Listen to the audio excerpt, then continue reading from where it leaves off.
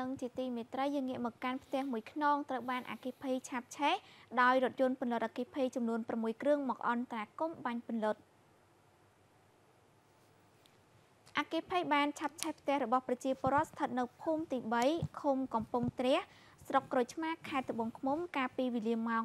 11:30នាទីព្រឹកថ្ងៃទី20ធ្នូឆ្នាំ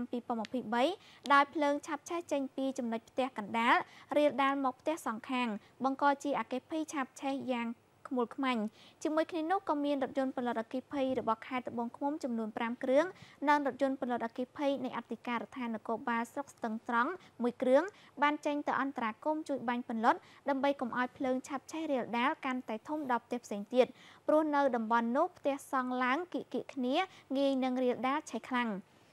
លោកវិរៈសនីឯកសួសសៀងលី អធិការនគរបាលស្រុកក្រូចឆ្មាបានឲ្យដឹងថាចម្ងាយផ្លូវពីអធិការដ្ឋានទៅដល់កន្លែងផ្ទះកាត់ហេតុអគិភ័យនេះមានចម្ងាយប្រមាណ720គីឡូម៉ែត្រពេលដែលរថយន្តផលិតអគិភ័យទៅដល់គឺភ្លើងបានឆាប់ឆេះពេញបន្ទប់ទៅហើយខណៈពេលដែលផ្ទះឆេះមុនគេម្ចាស់ផ្ទះមិននៅបន្ទាប់មកភ្លើងក៏បានឆេះរាលដាលបន្តមកផ្ទះផ្សេងទៀតមានរហូតទៅដល់ចំនួន4ផ្ទះនៅក្នុងនោះរួមមាន1ផ្ទះឈ្មោះមានសាលីហា ភេទស្រីអាយុ40ឆ្នាំទំហំ6ម៉ែត្រគុណនឹង8ម៉ែត្រធ្វើពីឈើប្រក់ស័ង្កសីឆេះទាំងស្រុងខូចខាតម៉ូតូចំនួន2គ្រឿងប្រាក់ចំនួន80ម៉ឺនរៀលនិងសម្ភារៈប្រើប្រាស់ផ្សេងផ្សេងទៀតទី2ផ្ទះឈ្មោះសុសម៉ាន់ភេទប្រុសអាយុ44ឆ្នាំទំហំផ្ទះ7ម៉ែត្រគុណនឹង12ម៉ែត្រសង់ធ្វើពីឈើប្រក់ក្បឿងឆេះទាំងស្រុងខូចខាតប្រាក់ចំនួន1100ដុល្លារប្រាក់រៀលចំនួន80ម៉ឺនប្រាក់ម៉ាឡេចំនួន4 ringgit និងសម្ភារៈប្រើប្រាស់ផ្សេងទៀតទី3ផ្ទះឈ្មោះ Lin Nasid ភេទប្រុសអាយុ35ឆ្នាំទំហំផ្ទះ6ម៉ែត្រគុណនឹង10ម៉ែត្រធ្វើពីឈើប្រក់ស័ង្កសីទំហំ6ម៉ែត្រគុណនឹង10ម៉ែត្រឆេះអស់ទាំងស្រុងត្រូវខូចត្រូវខូចខាតរួមមានឈើ5ម៉ែត្រគូបប្រាក់ដុល្លារចំនួន4000ដុល្លារម៉ូតូចំនួន1គ្រឿងនិងសម្ភារៈប្រើប្រាស់ផ្សេងទៀត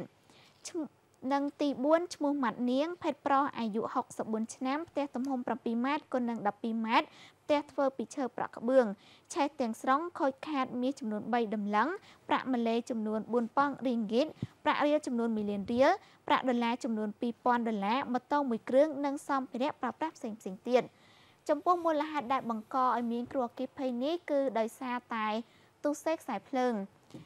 លោកអធិការនគរបាលស្រុកក្រូចឆ្មារបញ្ជាក់ថានៅពេលដែលមានអគ្គិភ័យឆាប់ឆេះឡើងគឺមានខ្យល់បក់មកពីទិសខាងជើងជាហេតុធ្វើឲ្យភ្លើងឆេះលឿនហើយផ្ទះឈើ4ខ្នងត្រូវអគ្គិភ័យឆេះទាំងស្រុងរយៈពេលប្រមាណប្រហែលតែកន្លះម៉ោងប៉ុណ្ណោះជាមួយគ្នានោះអាជ្ញាធរមូលដ្ឋានកំពុងតែធ្វើការវិតម្លៃដើម្បីត្រៀមឲ្យក្រុមការងារសាខាកាកបាទក្រហមខេត្តត្បូងឃ្មុំនាំយកអំណោយទៅជូនដល់ម្ចាស់ផ្ទះរងគ្រោះទាំង4ម្ចាស់នោះបាទ ទូរទស្សនិកជនជាទីគោរពនិងជាទីមេត្រីសម្រាប់ព័ត៌មានជាតិដែលយើងខ្ញុំទាំងពីរជម្រាបជូនបានដល់ទីបញ្ចប់នៅបន្តិចទៀតនេះពីកម្មវិធីនឹងផ្ដល់ជូនលោកអ្នកនៅព្រឹត្តិការណ៍ព័ត៌មានអន្តរជាតិដែលមានព័ត៌មាននៅក្នុងតំបន់អាស៊ាននិងពិភពលោកថ្មីថ្មីមកជម្រាបជូនវិញម្ដងតែក្នុងខណៈនេះពីកម្មវិធីសូមសម្រាប់បន្តិចសិន thank you